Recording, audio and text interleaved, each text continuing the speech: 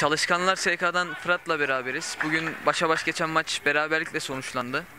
Son anlarda tatsız olaylar yaşansa da güzel bir maçtı. Düşüncelerini alıyoruz. Ee, öncelikle iki takımı da tebrik ediyorum. Ee, biraz tatsız olaylar olmuş olabilir ama sonuçta maç dostluk kazandı. Beraberlik, beraberlik de bitti. Böyle olmasını istemezdik ama artık önümüzdeki maçlara bakacağız.